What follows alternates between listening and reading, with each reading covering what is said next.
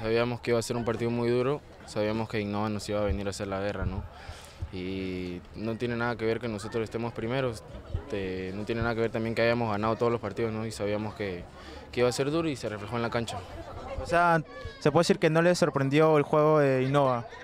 No, sabíamos que nos, sabías que sabíamos que tienen buenos jugadores y todo, ¿no? también tienen jugadores que juegan en cristal. Y bueno, ya, ya los conocíamos, pero se nos complicó un poco en la cancha. Bueno, ahora en, este grupo los se han clasificado. Eh, ¿Qué expectativas tienes a Coliveros en la siguiente ronda? Imagino que van para campeón, obviamente. Claro, siempre el objetivo de, un equipo es llegar a ser campeón y a seguir dándole con todo, que todavía falta bastante. En particular, ¿tú este, juegas en algún equipo aparte? Sí, juego en Alianza Lima, teoría 2001. ¿Y eres, siempre has jugado de 10? No, ahí me ponen de volante de contención, pero acá le pido la oportunidad al profesor para que me ponga a esa posición.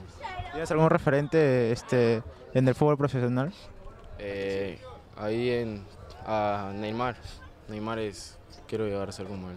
Siempre lo ves, siempre tratas de seguir sus este, habilidades, todo eso, practicar en los entrenamientos.